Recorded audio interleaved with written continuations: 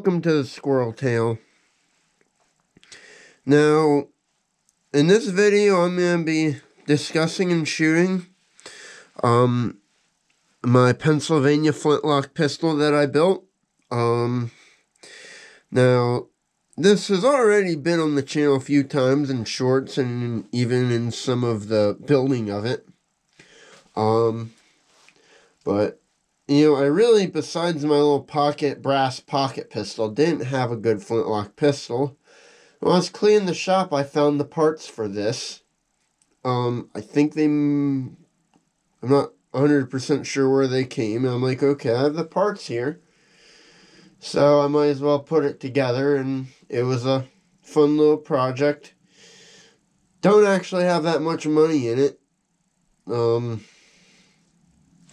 like I said, I think the barrel, the stock, and the lock, I believe, were all given to me. So, I mean, and then, I mean, with the hardware, which I guess that's what I'll talk about, just the standard trigger and trigger plate. The, um, trigger guard I hand forged out, which was kind of cool. And I made the ramrod symbol. Simple sights. That is actually a piece of a lock plate that when I made my swivel breech action, that was a scrap lock plate.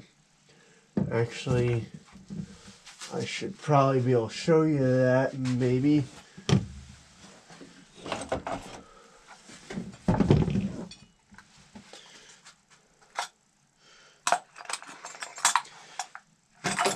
It came off that piece.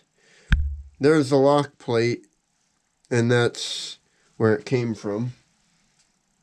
Which I thought that was kind of a neat usage of resources. Seeing the swivel breech, the lock plate, you end up cutting off the frizzen for that, but... And it's, you know, curly maple stock. Um, I did an Aqua Fortis finish, which I have a video on doing that. Um, I should have a link up there in the video. So an Aqua Fortis finish, hand forged hardware. I engraved my name on it. It's pretty simple. I didn't go too elaborate. I plan on this is a gun I plan on shooting frequently.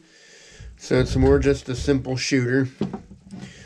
Um, someday I'll probably make a pretty display pistol. That's one I plan on putting a high round count for. But I mean that's that's pretty much it with it.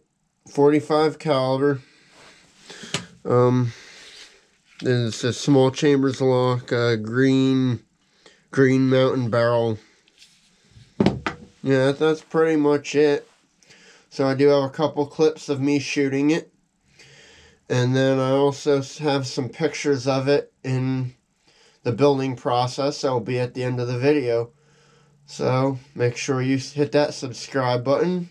Enjoy the rest of the video and have a good day.